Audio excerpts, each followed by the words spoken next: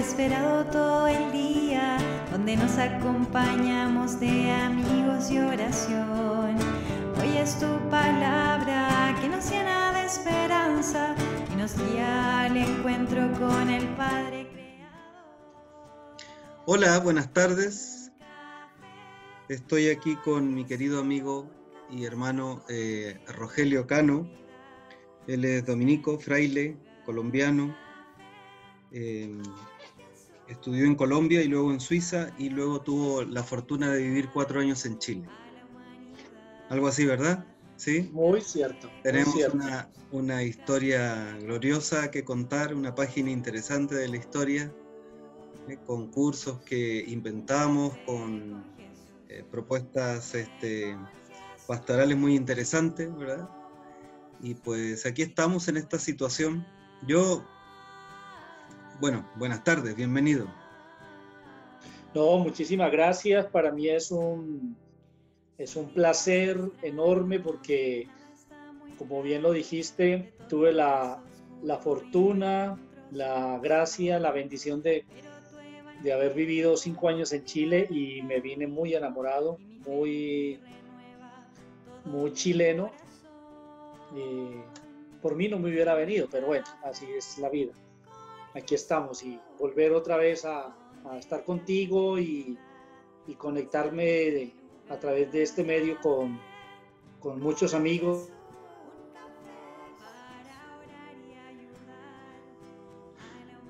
que allá en Santiago, en Chillán. Ajá. Y cuéntenos dónde está, dónde está viviendo en este momento y qué está haciendo. En estos momentos Estoy cerca de Bogotá, en una población que se llama Villa de Leiva. Eso está a tres horas. Aquí tenemos una, una parroquia que data de la colonia, aunque nosotros la recibimos a, finales de 1800. Eh, y tenemos un monasterio de 1620 de hecho, estamos este año de jubileo, 400 años, eh, que sirvió como centro de, de, predicación, de formación y de, eh, de descanso y aprovisionamiento de los frailes que se encargaban de la misión de los llanos orientales, que están frontera con, con Venezuela y dos provincias que son los Santanderes, o sea, estoy en el departamento de Boyacá, pero aquí hacemos límite con el Meta, con los Santanderes, ¿no? que dan, mm, dan con el vecino país de Venezuela. Entonces, este era, digamos que este fue un, un paso obligado de los ejércitos libertadores que vinieron desde Venezuela con Bolívar eh, para pues expulsar a los españoles. Y pues los dominicos de alguna manera también están ahí pues como atravesados por esa, por esa lucha. Oiga, este esta, pues contacto eh, queremos realizarlo todos los miércoles con diversas personas, de diversos amigos, amigas, hermanos, principalmente hermanos y hermanas, para hacerle dos preguntas que, mm, que a mi parecer eh, son interesantes de compartir desde los diversos lugares donde estamos. Y el primero, bueno, usted está en Colombia en este momento, y la primera como pregunta sería, eh, ¿Cómo usted visualiza eh, su eh, país, su sociedad en la que está inserto en este momento eh, después de, bueno, también durante, ¿no? Porque están viviendo un proceso también complejo de, un despertar de la conciencia, veo yo, ¿no? ¿no? Usted nos explicará, pero también cómo usted ve su sociedad de cara a la superación de la pandemia. Explico, ¿verdad? Sí. Eh, bueno, la pandemia es una situación mm, bien compleja porque si bien es cierto, es, es, es una enfermedad, es un virus y es un virus planetario que, que nos cogió a todos como, como de sorpresa en un mundo paradójicamente que se supone había avanzado a nivel de, de la medicina, a nivel de la ciencia. Esta pandemia eh, desnudó pues todas esas seguridades entre comillas, ¿no? Y, y en el caso nuestro fue mucho más grave porque, eh, digamos, nosotros ya veníamos padeciendo un, un, virus peor que la pandemia, que es una violencia eh, institucionalizada, es una violencia alimentada desde el Estado, alimentada desde las élites, alimentada desde lo político. Entonces, eh, esto acaba de, agravar más la situación. Yo sé que algunos de mis compatriotas no, no estarán muy de acuerdo con, mi visión y, hasta de pronto algunos frailes, porque nos hemos acostumbrado a vivir con esa violencia. Entonces, para, para hacerlo un poquitico más, más claro a, a, los que nos oyen, nos ven en, Chile, aquí el dilema es si nos ponemos tapaboca o nos ponemos eh, chalecos antibalas. Ese es el dilema, ¿ve? Porque mientras eh, va pasando la pandemia, que todavía, o sea, apenas está empezando la curva, eh, en menos de dos meses estamos duplicando o sea, pasamos de, de 10 mil, 12 mil, ahora estamos en 40 mil, ¿no? O sea, está aumentando de una manera muy, muy rápida. Eh, no han cesado los crímenes contra los líderes políticos, perdón, los líderes sociales, eh, los activistas de los derechos humanos, eh, los abogados, defensores de las víctimas, los que están luchando por la restitución de tierras que le quitaron a los campesinos, durante los años 80, eh, 90, el comienzo de, la década del 2000. Entonces, digamos que al contrario, la pandemia se convirtió en la mejor aliada de, de todos estos gamonales y de todos estos políticos inescrupulosos que están aprovechando la circunstancia para eh, gobernar a partir de decretos, porque eh, digamos el, el Senado o el Congreso eh, sesionan pero a nivel virtual y, y, no están ejerciendo un control directo sobre el Ejecutivo, ¿no? En este caso sobre el presidente, que le queda mucho más fácil gobernar, ¿no? O sea, de manera casi que, esto que voy a decir es muy fuerte, pero de manera casi que dictatorial, ¿no? bajo un ropaje de, de, ayudar a los pobres a través de mercados y de cosas, que es lo que se venía haciendo antes, con programas como eh, Familias en Acción, eh, Serpilo Paga, que eran como unas especies de auxilios, o son auxilios para muchachos de estrato 0, 1, 2 y 3, para que puedan estudiar eh, en universidades públicas, y así sucesivamente. Entonces, digamos que eh, el panorama es, o sea, si en este momento es crítico, después de la pandemia va a ser todavía mucho, mucho más crítico, porque cuando despertemos nos vamos a encontrar con una serie de leyes y de decretos ya firmados que lo que van a hacer es eh, agravar más ese abismo entre, entre pobres y ricos. Como nosotros, digamos. No muy distinto. Oiga, a propósito de lo que está diciendo antes de pasar a la pregunta propiamente tal, ¿y, qué pasó con el proceso de paz? ¿Cómo, es decir, ¿cómo se inserta el proceso de paz en esto que usted nos está, nos está relatando? El proceso de paz eh, hoy por hoy está muy debilitado porque el partido de gobierno, eh, que se llama Centro Democrático, y al cual pertenece el, actual eh, presidente, pues nunca ha creído, o sea, nunca apoyó, nunca estuvo de acuerdo con esa negociación que se hizo en La Habana. Y el proceso eh, arrancó mal, no tanto por, por las buenas intenciones de ambas partes, del gobierno anterior, de Juan Manuel Santos y los jefes de la guerrilla de ese entonces, sino porque no hubo una pedagogía, es decir, eh, se, mantuvieron en secreto durante cinco años hasta que se, se, hizo público, ¿no? Y se empezó a hacer eh, pues toda la negociación en La Habana, pero mientras tanto al país no se le fue informando, ¿ve?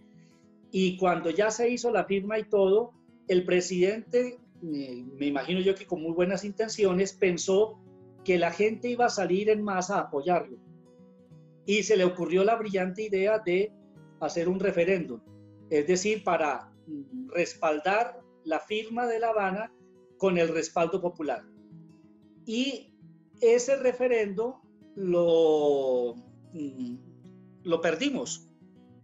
O sea, todos dimos por hecho, nos confiamos en que la gente iba a apoyar el asunto de la paz y el partido de gobierno pues hizo una campaña eh, muy sucia, una campaña muy negra, eh, en donde eh, básicamente se le decía a la gente que se le había entregado el país a, la guerrilla y que por lo tanto nos íbamos a convertir en una, en una nueva Venezuela.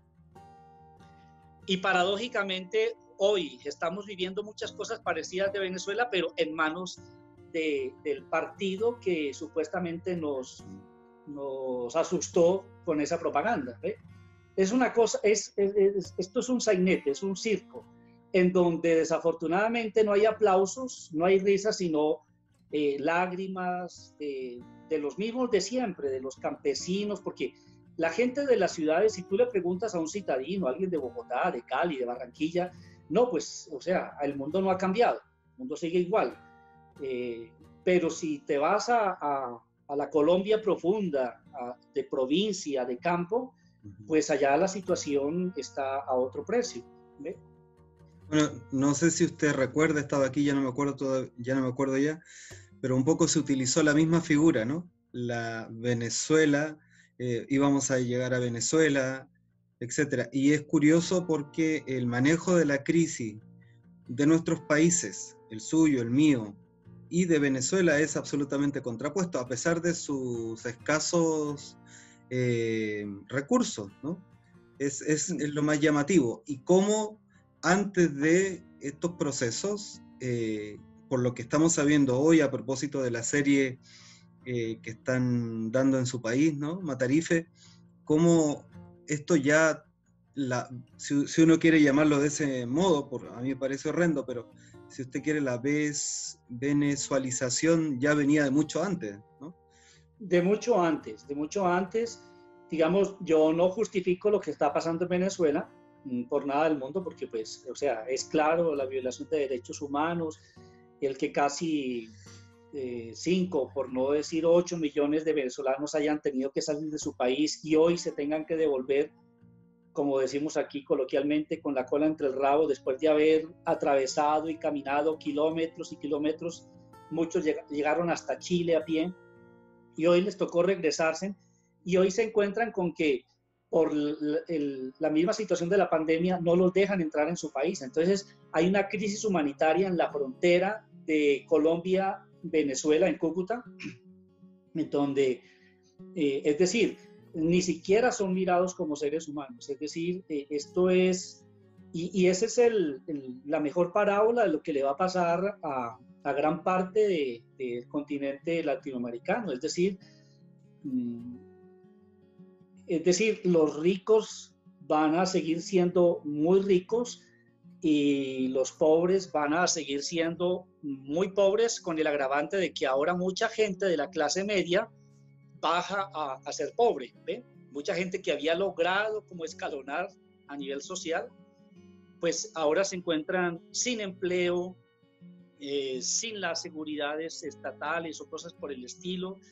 Entonces, yo no, quiero ser eh, eh, apocalíptico, pero en el caso colombiano, o sea, nos enfrentamos a, a una realidad bastante compleja.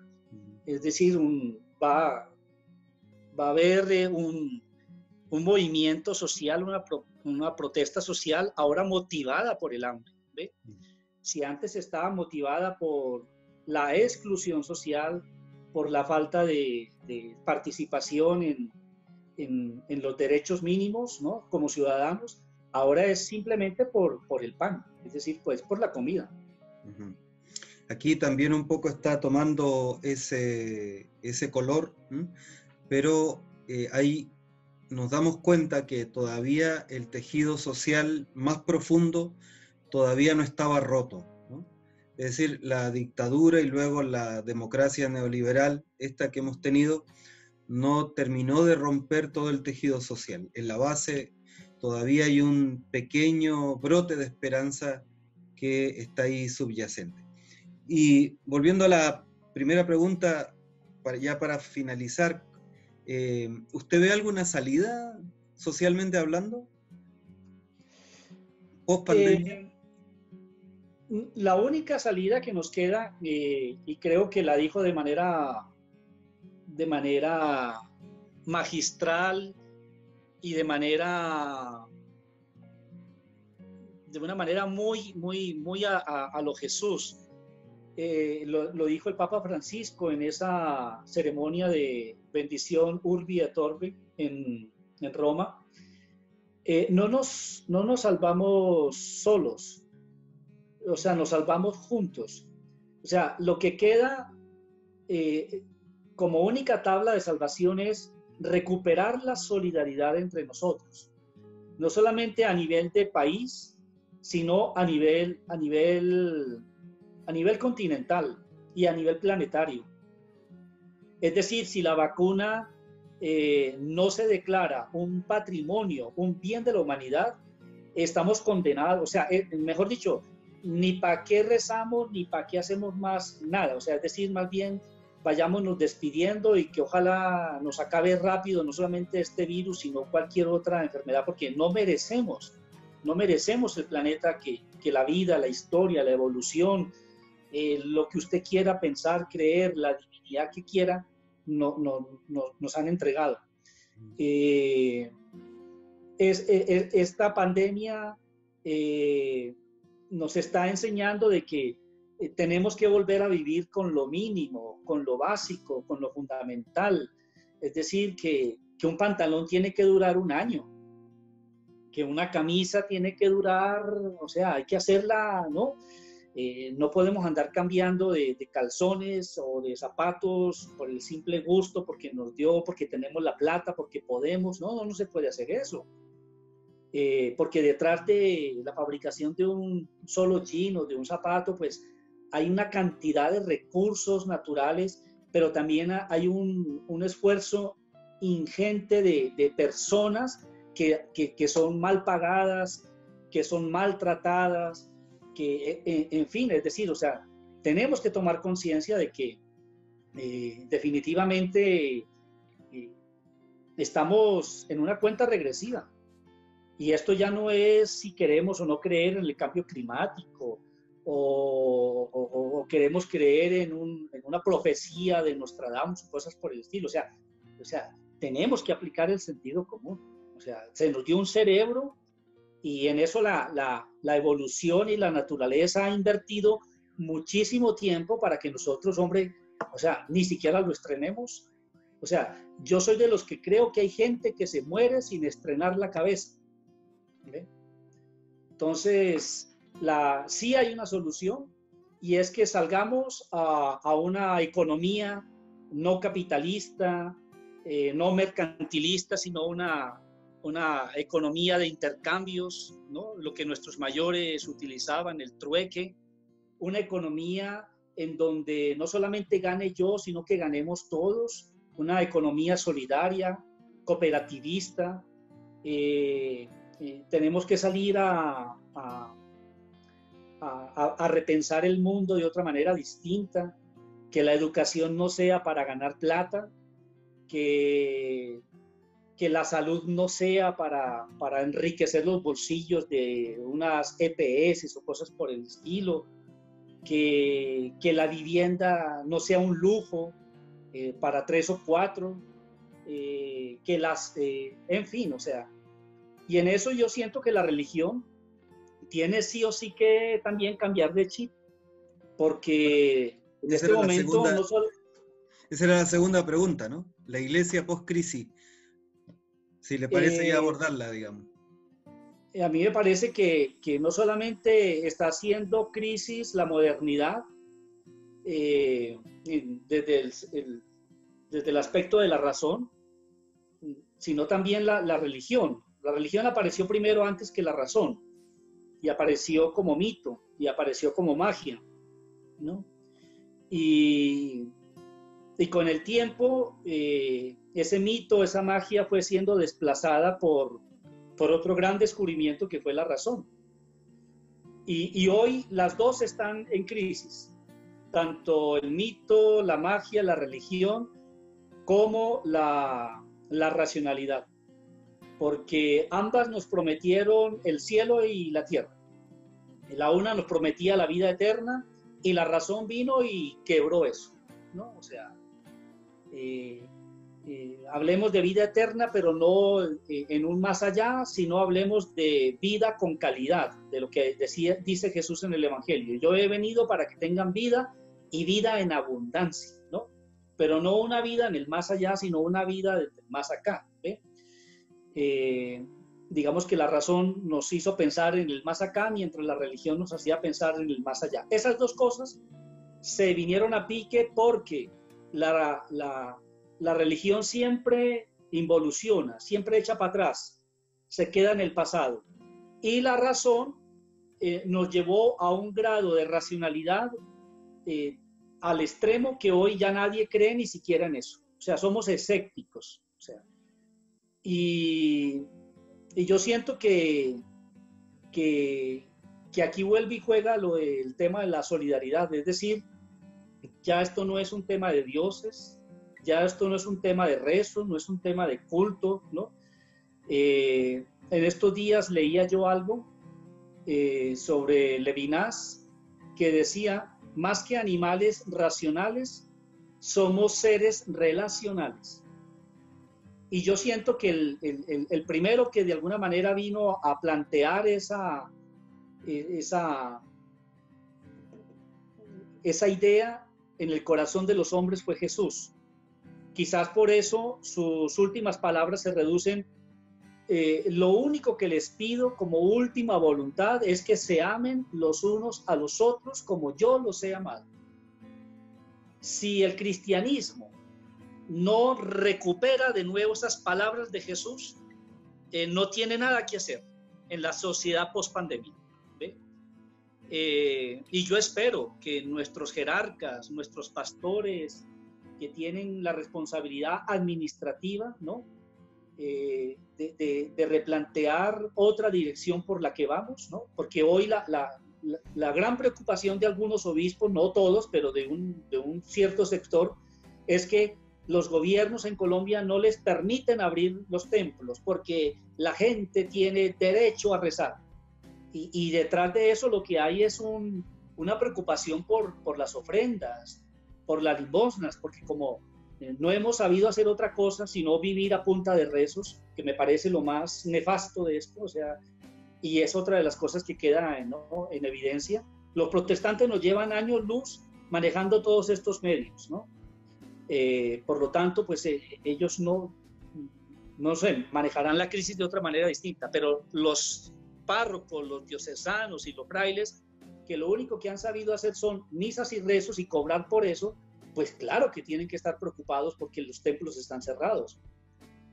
Pero, ¿y por qué no abrir los templos para recibir a esos que, no tienen dónde meter la cabeza, esos que no tienen un refugio? Eso sí no lo hemos hecho. O sea, no están pidiendo abrir los templos para eso, sino precisamente para que la gente venga a rezarle a su, a su Dios, que en el fondo son dioses que nos hemos inventado, pero que no tienen que ver nada con la experiencia de Jesús de Nazaret, que yo vuelvo e insisto, es una, una experiencia relacional. Eh, yo eh, digo esto para terminar. Jesús hay eh, en la vida de Jesús hay un quiebre en un momento dado. Él, como toda persona, pues, pues durante su juventud estuvo en búsqueda, ¿no? O sea, ¿para qué sirvo? ¿Me caso? ¿No me caso? ¿Estudio? ¿No estudio? ¿Qué hago con estos tres pesos que hay en la familia? Si es que había plata en esa, en esa época y en la familia de Jesús.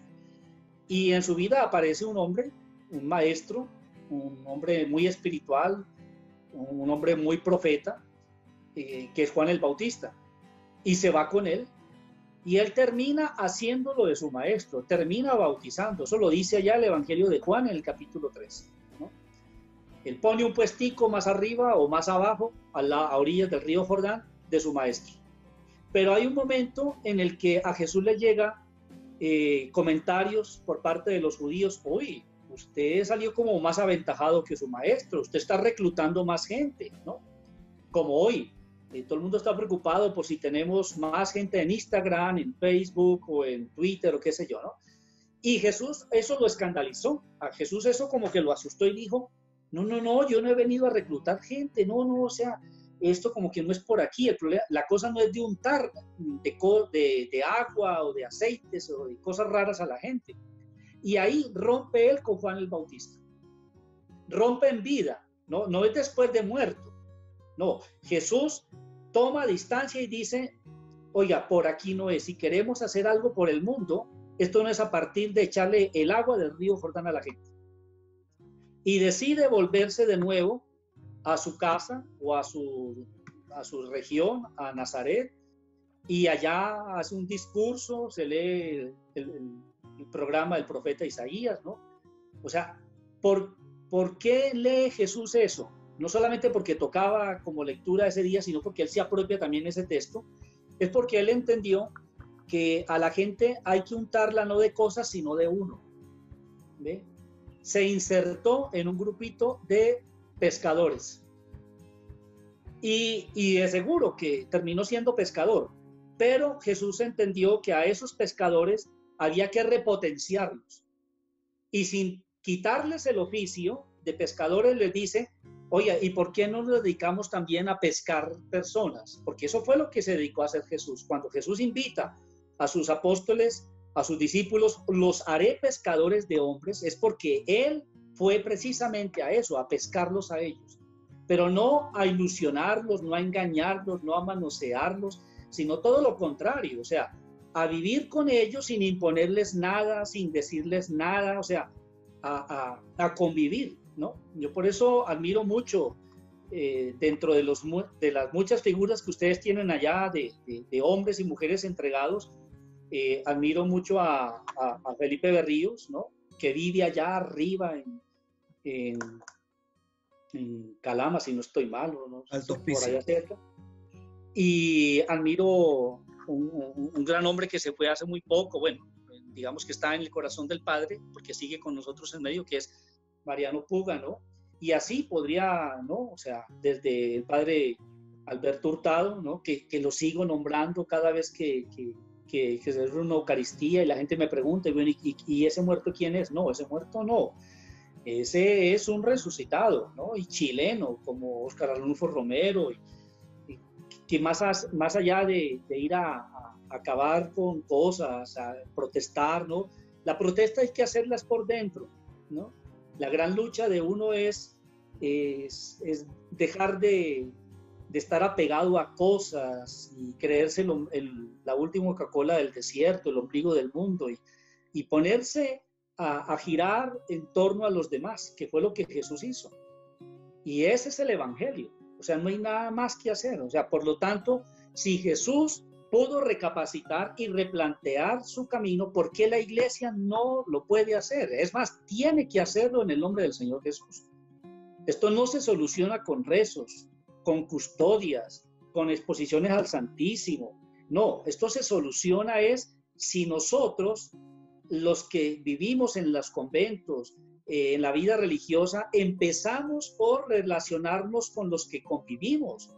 Y desde ahí tenemos una vida sana, una vida alegre. Yo no digo que sin conflictos, o sea, discutiendo, pero discutiendo con inteligencia, discutiendo con humanidad. Ese sería el mejor servicio que le, que, le podríamos brindar a esta iglesia post-pandemia, a esta sociedad post-pandemia. Oiga, venga, vivamos juntos con nuestras diferencias, con, con, con, nuestros temperamentos, con nuestras formas de ser, pero pongamos todo eso en común y, sumemos y empujemos en una misma dirección. Pero es que eh, aquí, como, como el dicho aquel, ¿no? Entre bomberos no se pisan las mangueras, pero entre curas sí nos las pisamos, ¿ve? Y nos hacemos daño. Y eso es lo que de alguna manera estamos reflejando y mostrándole a, la gente, porque la gente no es bruta, la gente se da cuenta. Y por eso ha empezado mucha gente a darnos la espalda, a, irse a otras partes, o ni siquiera irse a ningún lado, como quien dicen, al carajo este Dios, al carajo esta religión, porque esto lo que me trae son más bien desilusiones y, y tristezas. Entonces yo siento que sí hay esperanza en la medida en que, o sea, pues hombre, nos creamos el cuento de Jesús. Eh, para terminar simplemente, em, ¿no ve usted en este momento, y pues terminamos ya con ello, em, tengo la impresión yo de, bueno, desde hace algún tiempo moverme en este ámbito de, este medio de comunicación concretamente y de ver mucho, y de ver mucho justamente para, para ver la oferta que hay en el mercado virtual, que hay justamente como un retorno de parte del mundo católico a esos, a esos elementos, la custodia, eh, los rezos, eh, etcétera, eh, casi como obsesivo, ¿no? Eh, es decir, a la hora de la verdad, hasta de un clavo ardiendo me, agarro para no irme al, precipicio, digamos. Es que eso es lo que yo llamo un retorno a lo mágico, porque como hemos vuelto al Evangelio una cosa mágica, es decir, esto funciona, si me porto bien, entonces Dios como que y su Hijo y su Santísima Madre me premian, ¿no? Como lo que hace un papá cuando, no sé, premia a su hijo porque sacó buenas notas. No, no, no, perdóname.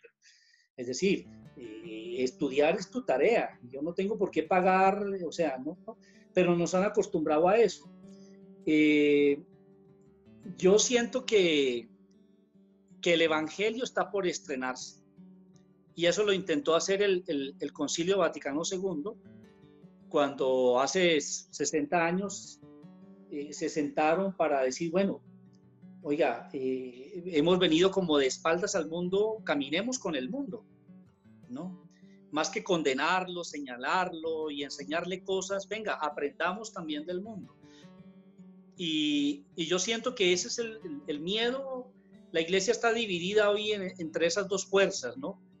Una fuerza mayoritariamente tradicionalista, eh, muy piadosa, muy devota, muy metida en rezos, y, una iglesia que no es que no crea en eso, sino que entendió que aquí más que rezarle a Dios, más que cantarle a Dios, más que acompañar a Dios, es, oiga, cantémonos entre nosotros, recémonos los unos por los otros, eh, eh, reunámonos y encontrémonos los unos por los otros. Esa es la esencia de la propuesta de Jesús. A Dios no se le encuentra sino en esa experiencia de construcción fraterna, de construcción eh, sororal, ¿cómo se puede decir? Es decir, creando comunidades horizontales, ¿no? En donde nadie esté por encima de nadie Expresiones como a nadie llaméis Padre, Maestro, Señor, porque uno solo es vuestro Señor y uno solo es vuestro Padre. Eh, eso quiere decir en la práctica que todos somos hijos. Y, si somos hijos de un mismo Padre, pues todos somos hermanos. Por no entender eso, mire lo que pasó en Estados Unidos con George Floyd. Entonces, un blanco que se cree blanco y, eh, con, que encarna la autoridad y el orden puede eh, arrodillarse en el cuello de, una persona que ni siquiera hay que llamarla de color, o sea, porque hay que llamarlo es eh, mi hermano. Y mientras eso sucedía allá, y me imagino muy creyente como el presidente que sale con una Biblia y se para detrás de una estatua de San Juan, eh, Juan Pablo II, pues en Colombia un patrullero de la Policía Nacional el 21 de mayo de un bolillazo, ¿no? de un bastonazo ¿no? a un muchacho que, que estaba llegando a su casa. Él le dice, bueno, no, usted no puede estar en la calle para adentro. Y el muy bruto lo coge a golpes y a raíz de esos golpes ese muchacho pues tuvo primero una muerte cerebral y bueno, murió. 19 años, también, también afrodescendiente. Pero, pero no, o sea, porque como es de otro color, porque es, es distinto, porque es raro, porque es no, entonces yo puedo eliminarlo, ¿no? Y para eso pues tengo que tener un, relato, ¿no? O sea, eh, eh, nadie hace lo que hace si no está fundamentado en una creencia, en una, en una educación, ¿no? Entonces tenemos que desmontar también todos esos relatos, ¿no? Y, volver, o sea, pues yo no sé si el relato de Jesús, pero es el relato de la encarnación, es el relato de la humanización. Sí, definitivamente, o sea, yo a veces digo, hombre, nos hizo mucho daño eh, el, creernos que estábamos hechos a imagen y semejanza de Dios. Eso se escribió con muy buena intención, pero lo hemos leído muy mal, porque entonces resulta que el caballo no es imagen de Dios, la vaca no es imagen de Dios, la naturaleza no es imagen de Dios, entonces yo puedo pasar por encima y no. Entonces, eh, esos textos tenemos que eh, leerlos estudiarlos con, con, con, oiga, con seriedad, con responsabilidad. Y hay cosas que, que, hay que decir, oiga, bueno, esto se dijo en un momento, en un contexto, en una época para, para ciertas cosas, pero ya hoy no se puede decir esto de esta forma. Porque, o sea, en nombre de eso, entonces hay gente que se cree, ah, o sea, el que, el que mató a George Floyd cree que Dios es blanco. De ese tamaño es. Bueno, un poco eso es lo que estamos tratando de hacer aquí, aprovechando esta, mm, esta, este desafío que nos plantea esta pandemia, justamente. Creamos este espacio que llamamos Un Café con Jesús 2020, eh, porque veíamos, por un lado, la necesidad de acompañar al pueblo de Dios, pero de acompañarlo de una manera distinta. Es decir, no nos bastaba decir misas, porque aquí sí que se aplicaba a la perfección eso de decir misa, ¿no? Porque la gente está en su sillón, ¿verdad? Y el cura haciendo la pantomima detrás de la, de la cámara, sino que pues invitarles a celebrar la cena del Señor haciendo de su mesa familiar su propio altar. Y también luego cada día eh, una reflexión ya un poco más seria y más y, no mágica, por supuesto, de la palabra de Dios y eso pues eh, nos ha servido muchísimo. Entonces pues estamos en ese camino y queremos justamente con la gente que nos va a escuchar, que nos está escuchando, eh, queremos hacer ese camino. Y pues entonces esta no será la única llamada, el único contacto que tendremos con usted, que eh, esperamos sean más de, de, eso, de compartir experiencias y también de yo creo que necesitamos hoy día eh, eso que dice Gustavo Gutiérrez, Gutiérrez, ¿no? Cuando el cristiano tiene, ha de tener la capacidad de, sembrar esperanza, incluso cuando no hay razones para la esperanza. Más allá de, lo que podemos vivir en este momento y que parece que no hay saluda, salido, salida perdona, a este túnel, sí la hay, ¿no? Eh, toca buscarla, pero sí la hay. Toca buscarla, exactamente, sí. Muchísimas gracias por su tiempo. No, muchas gracias a ti. Un abrazo. Eh, de verdad que para mí es una alegría enorme poder seguir en contacto, así sea a través de este medio, con Chile. Eh, un saludo muy especial a, a, todos los amigos de Santiago, a los amigos de Chillán, que los llevo en el corazón y de ahí no los saca absolutamente nadie. Espero que, que algún día, muy pronto, eh, podamos volver a reencontrarnos, a abrazarnos y bueno, seguir caminando juntos y seguir aprendiendo juntos. Justamente mucha gente de Chillán lo verá porque una, gran parte de la audiencia de este programa justamente es de Chillán. Un abrazo Muchísimas grande. Gracias. Que el Señor me lo bendiga. Un abrazo. Un abrazo grande para usted. Adiós. Adiós. Llega el momento esperado todo el día, donde nos acompañamos de amigos y oración. Hoy es tu palabra que nos llena de esperanza nos al encuentro con el Padre Creador. Un café con Jesús, Un café donde la fraternidad está en este lugar. Un café con Jesús.